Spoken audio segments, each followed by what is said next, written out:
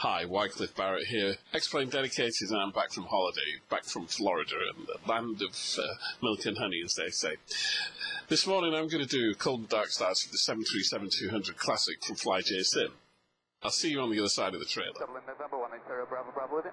November 180 Bravo Bravo, good afternoon to you. Report your altitude? Uh, 2,000 feet on 1014, Bravo Bravo. Bravo Bravo, descending for 60, so climb not above, initially not above 4,000 feet on the QNH 1014.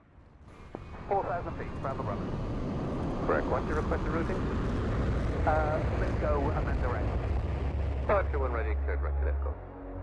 Go, let's go, Bravo Bravo.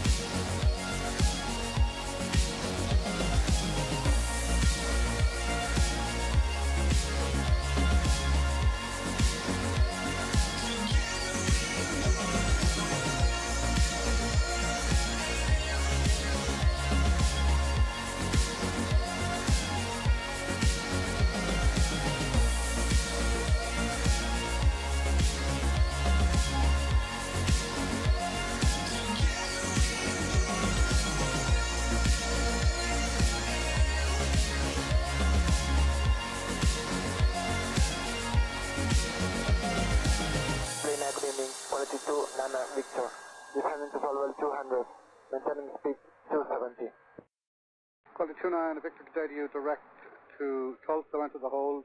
Unless otherwise advised, expect runway 28.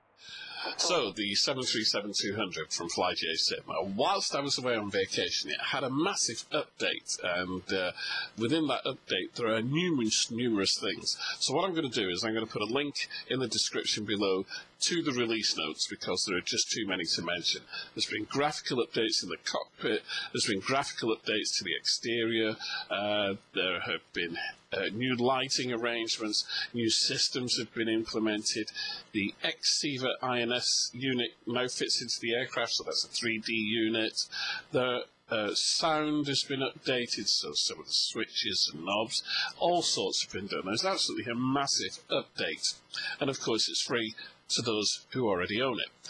So what I'm going to do this morning is I'm going to do a cold and dark start of the 737-200 Classic. Uh, it is one of the easiest aircraft to start, in actual fact.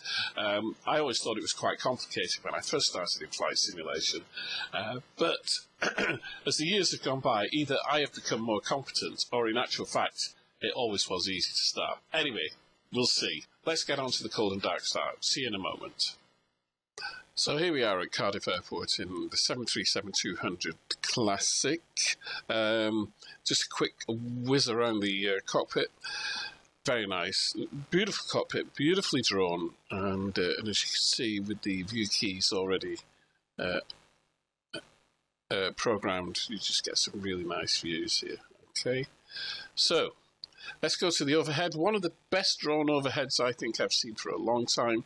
Uh, any of you who've seen the VR Insight overhead that you can purchase, uh, the unit, the VR Insight unit, it's identical to this, and this is identical to that in many ways. So we're going to do the uh, cold and dark start in the 737-200. It's one of the easiest aircraft to start up, although just now on the first run through uh, had a bit of a problem, so thought I'd re-record it. And uh, there's first three things is you need to turn the battery on, close the cover, your damper, and galley power.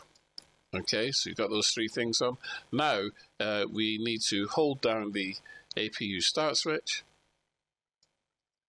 There we go, holding it down. You can hear the APU starting and the uh, temperature rising just at the top left, uh, the uh, EKH temperature, exchange temperature, is just rising.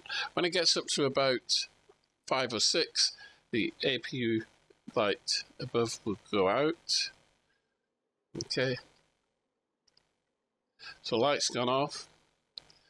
Can let go of that now. It's still rising. We get to about yeah, right, APU gen lights come on, I can I can turn that off. That one off, okay, that's good. And the APU is running really nicely now.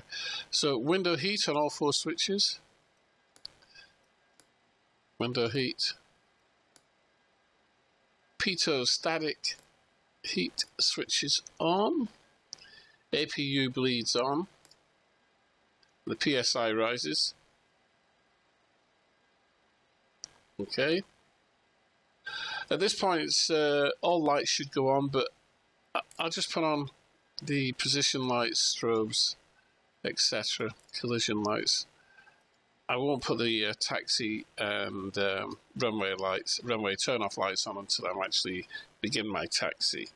Okay, uh, the weather screen ab above the radar throttles, let me get in there a little bit, which is just over here. We turn that to WX slash T. Turn up the brightness, I think, just a little bit. Okay. Uh, cancel uh, master caution light there and there. And then fuel pump on all four switches. Okay. So that is about it. At this point, I would be programming the INS, the CIVA INS. I have got an issue with that, which uh, I'll talk about at the end of the video, and we'll come back to that. So at this point, theoretically, rotate the uh, engine switches and turn on. We'll just put the emergency uh, lights on there. Okay. We're good to go, I think. So, Rotate the left to ground.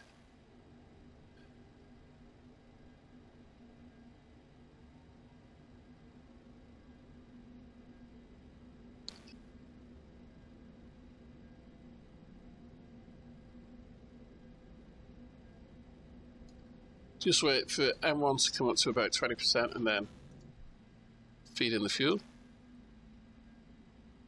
And there we go and we can hear N1, the see N1 coming back up. EKH temperatures is settling. And you see the EPR moving up. So that's engine 2 started. Back up here. Same process.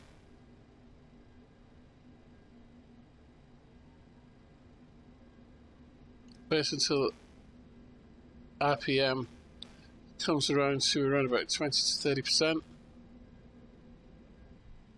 And then slinging the fuel. Excuse me. EKA temperature comes up. We'll see the EPR slowly come up to around about 106, 107. And that's a good engine start. Temperature will drop back down now to a more reasonable temp.